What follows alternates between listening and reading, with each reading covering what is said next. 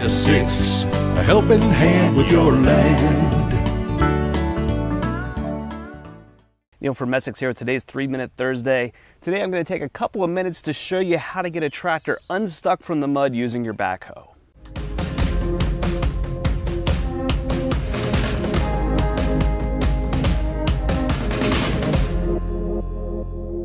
So I was out doing a little bit of work and saw an opportunity to do a cool video. I came out of here and intentionally got this tractor stuck in the mud. Now, you know, it's only because I'm too good of an operator to get stuck for real. Tongue in cheek joke there.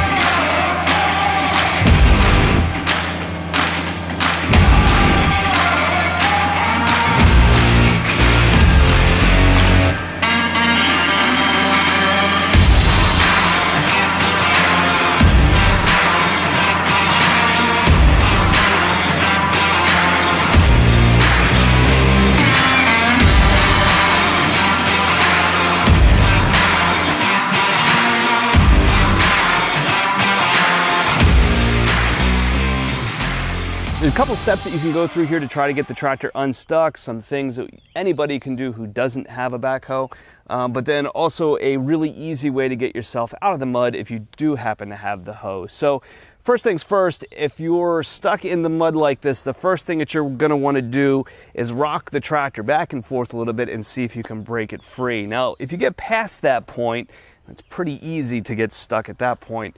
The next thing you're going to want to try is your diff lock. Now, the diff lock is located on every tractor, for the most part, on the heel of your left foot.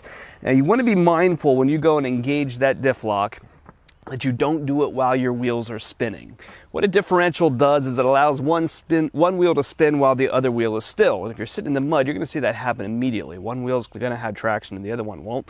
The one will just sit there and freewheel when you step on that diff lock, it slides a pin through that sliding differential. And so the, what you don't want to happen is for that diff to be spinning and then have that pin slide into it while you have all of that inertia and shear the pin off. So the very first thing you want to do when you use that differential is stop the wheels from spinning, step down on the diff with your heel, and then back up. And hopefully that action then can get three of your four wheels pulling and get you out of the mud. If you get beyond that point, you're gonna do this next trick here that I've got with the backhoe. And this area that I'm working is really sloppy and I've gotten actually several pieces of equipment stuck out here now. Unfortunately, every one of them I've been able to get unstuck using the backhoe. Um, in this case, it's been a BX that I got stuck and also an excavator as well.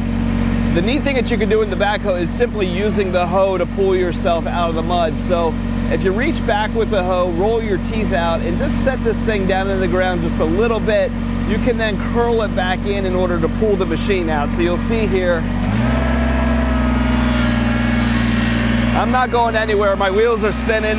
Okay, so I'm gonna come back and use my diff lock. And even with the diff on, not going anywhere. They're packed full of mud, okay? So now we're gonna take our backhoe, set our teeth down in the ground, and hit the reverse pedal while pulling back in. And you can see here I'm starting to dig.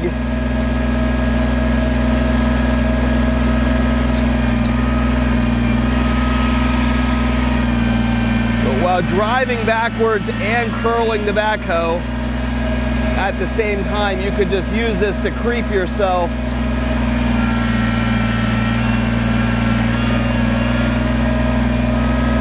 right out of the ground. You can see I did a little bit of digging there.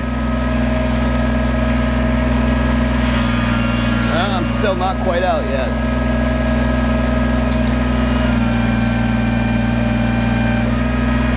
Thing you want to watch as you do this, as you're going back and forth, is you are going to lift the rear end of the tractor up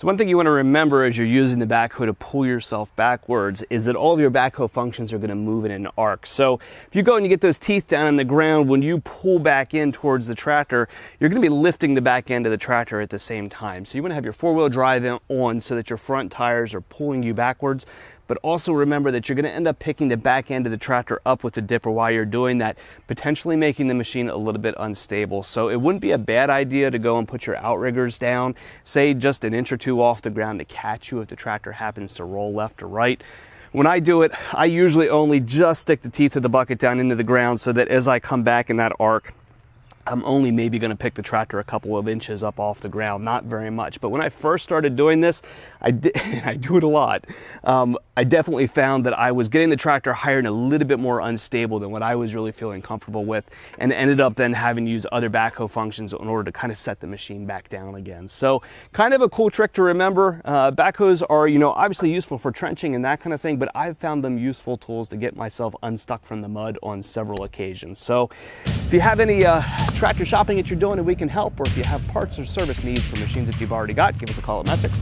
We're available at 800 222 3373 or online at messick's.com.